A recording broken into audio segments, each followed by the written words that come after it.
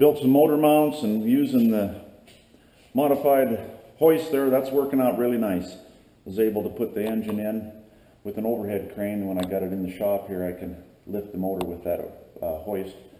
Fits just right. Got some motor mounts built. Here, had to make them a little taller than the original ones uh, for the update. Let's just climb up into the into the back here show you what's going on. Then we'll, as I go, I'll try to get more video clips and be better about it. But uh, there she is. Got her hanging. You can see the pedestals down there. I built two of those, and then uh, the motor mounts there on the bench go up at the up at the front. And uh, grinding some clearances in the motor mounts there. But uh, yeah, when I get going here, I'll I'll shoot a few clips and try try to keep you up to date and uh, the big progress of the thing. But we're it's going real well. The shaft alignment worked out really nice. I just hung the engine in position with the hoist there, and then I just built the motor mounts in place to where the uh, shaft lines up with the front of the transmission. So here's the here's the shaft.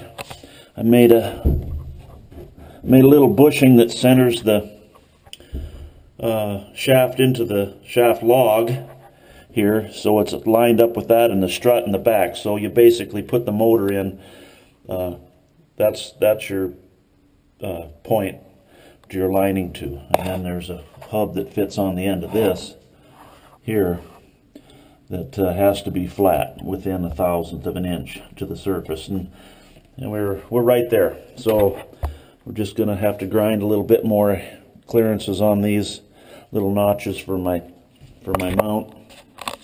And uh, once that's done then uh, I'll start the next course of the project which is taking out taking out this has to move to the other side of the boat. And uh, the water intake and then there's a water intake for the washdown pump back there. That has to all be moved to the other side of the boat and then my exhaust will be here. And there's of course the outlet for the exhaust but the drop muffler is going to have to go right here and uh, somewhere in here. We haven't crossed that bridge. Once I get the motor set then I'll get down that road but these uh, transducers here are also coming out of the bottom because they're in the way of the uh, prop underneath. That's the tunnel. And uh, it's creating some aeration ahead of my prop and stuff like that. You're not supposed to have any kind of disturbance in that area, but it's run that way for 20 years. So, but we're going to make it right as long as I'm here doing it. And I got to patch the bottom anyway for to move that cooling water, I just as well take them transducers out. I don't use them anymore anyway because I got the new Garmin system on the Navionics wise. So anyway, quick video. I'll uh, show you a little progress as we go along.